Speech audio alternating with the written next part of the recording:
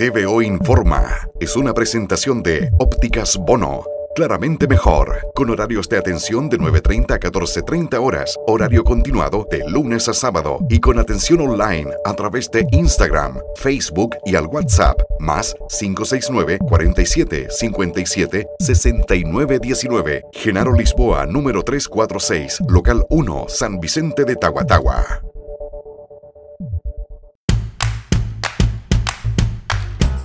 Con el objetivo de rescatar y dar a conocer tradiciones y costumbres del mundo rural, el concurso Historias de nuestra Tierra del Ministerio de Agricultura destacó la participación de los 10 ganadores de la región de O'Higgins, quienes fueron premiados en la 27 versión del certamen.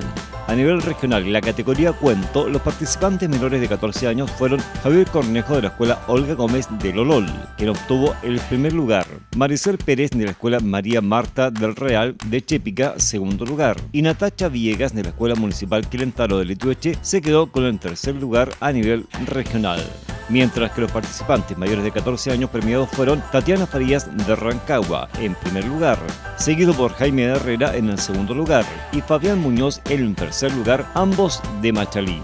El Ceremi de Agricultura de la región de O'Higgins, Joaquín Arregada, señaló estar sumamente orgulloso de lo que nuestra región ha logrado en este concurso. Somos la región cuna de las tradiciones guasas y campesinas de nuestro país. Y no podía esperar nada menos de nuestros jóvenes que participaron de esta convocatoria y esperamos que este año participen muchos más.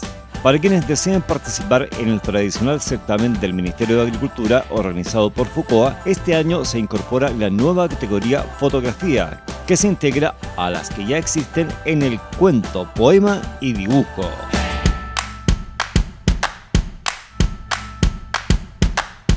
TVO Informa es una presentación de Ópticas Bono claramente mejor, con horarios de atención de 9.30 a 14.30 horas, horario continuado de lunes a sábado y con atención online a través de Instagram, Facebook y al WhatsApp, más 569 47 57 69 19. Genaro Lisboa, número 346, local 1, San Vicente de Tahuatahua.